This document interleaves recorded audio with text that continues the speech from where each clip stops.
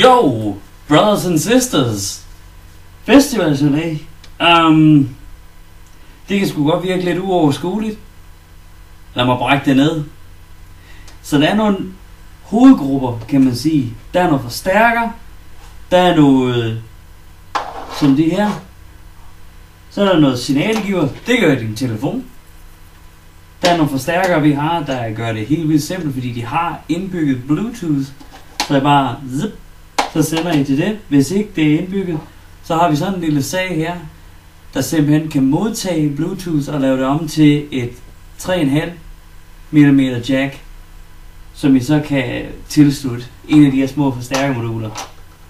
Så signal, forstærker, forstærkeren er simpelthen det, der tager strømmen fra dit batteri, altså fra din strømforsyning, eller hvad du nu har af strøm, og omdanner det til en energi, som laver lyd, simpelthen til højtalerne herover. Så, hvad kan man sige, jo mere strøm din forstærker tager, jo hurtigere vil den opbruge batteriet.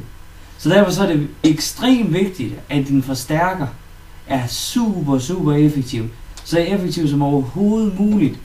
Det vi sælger, det ligger lige en tand over 90 procent, 92 procent. Og øhm, faktisk så var noget af det helt store, som jeg ikke lige har her, Earthquake-forstærkerne, helt op på 96 procent. Og det er altså super, super vigtigt, fordi at det betyder, at øh, en masse af den, al den energi, stort set, du forbruger her fra batteriet af, øh, det bliver omdannet til lyd. Det næste, hvor det kan gå galt, det er jo så højtalerne over. Det er det, der vibrerer selve lyden, eller hvad kan man sige, selve luften, til at så give øh, de her svingninger herude i, i luften. Så det, det er derfor, de står her og svinger frem og tilbage. Og så, hvad hedder det, der, der er også en effektivitet der. Den hedder følsomhed på de her enheder. Så jo højere den her følsomhed er, jo bedre, øh, jo højere spiller den i forhold til den energi, du lukker ind. Det, der koster energi, er dyb bas. Det er meget, meget, meget, meget, meget, meget billigere i strøm, og så spille højt diskant. Men det er jo ikke så fedt jo. Det forstår jeg godt. Så det er jo sådan en, en, um, en balancegang. Bare det, du skal vide, at jo dybere bas, jo kraftigere dyb bas, der bliver spillet, jo mere bliver der trukket på strømmen. Og det er der altså ikke noget at gøre, gøre noget ved. Man kan godt lave bashorn. Men hvis du skal basshorne dybe frekvenser, så skal du have et horn, der er flere meter i, i øh, flere meter langt og bredt. Øh, så det bliver kæmpemæssigt stort. Alle de horn, jeg har set i forbindelse med det her festivalsanlæg, de forstærker ikke den her vanvittige dybbas. Det gør de altså ikke. Der, det, det skal være så stort som, som øh, siden af en væg ind i et rum, før at det giver en øh, forstærkning i så dybe frekvenser. Så der er også sådan noget som det her, der er ret fedt at have, have i sit festivalsanlæg. Det er en USB-lader, så du kan lade telefon med strøm fra dit festivalsanlæg. Det man lige skal kigge på på den vi har, det er, at den er kun til 12 volt.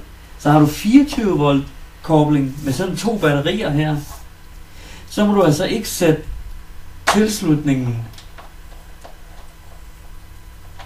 hele vejen over sådan her og over til det andet batteri. Hvis du forestiller, at du var forbundet herover til det næste batteri, så de står i serie og giver 24 volt. Den duer ikke. Du skal altid bare fra et batteri trække den her spænding, så den kun får 12 volt. For den er nemlig kun lavet til 12 volt. Så vi har videoer selvfølgelig herinde på øh, vores hjemmeside over alverdens ting med de her tilslutninger. Plus vi yder support selvfølgelig. Øhm, Ja, yeah. og altså jeg anbefaler helt klart at bruge Bluetooth, så jeres telefoner ikke er forbundet til anlægget. Så i det, at du fjerner dig måske lige fra anlægget for lige at snuppe en øl eller et eller andet, så er telefonen måske væk. Og det er jo det, der sker med, ved at bruge sådan noget som AUX-dækkene. Så, øh, men selvfølgelig kan I bruge det. Det er jo billigere at bruge sådan et AUX-stik. Og øh, øh, på de her helt små her, de tager jo ikke noget stik. Så er man skal ud i og, og klippe ledninger. Og det er der også en video på. Så jo, fra Sulen. Kabinet. Kabinet. Kabinettet har en stor effekt over for basgangen. Og det er sådan set der, hvor det er allermest vigtigt. En enhed, sådan en højtalerenhed her, den reagerer ikke ens over for en, øh, en type volumen som en anden. Altså selv inden for 8 tommer for eksempel, vil de gerne have vidt forskellige volumer. Og øh, hvad vil sige, de systemer vi har, de er sådan gennemprøvet på de volumer. Så øh, vi har en artikel omkring det, der hedder QT, øh, Q-værdier, og som vil være fed at læse, hvis det er, man vil så dybt ind i det, og vide, hvad er den rent faktiske konsekvent, øh, rent basmæssigt, hvis det er, at du ændrer volumen.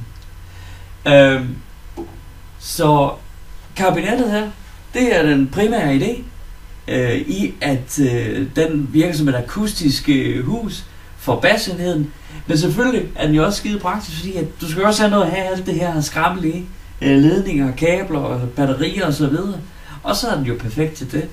Så det er sådan et festivalsanlæg. Forstærker, lydgiver, højtalere, strøm, kabinet. Kendt for bekendt. Kan I komme i gang med at bygge? Ha' det godt. Hej hej.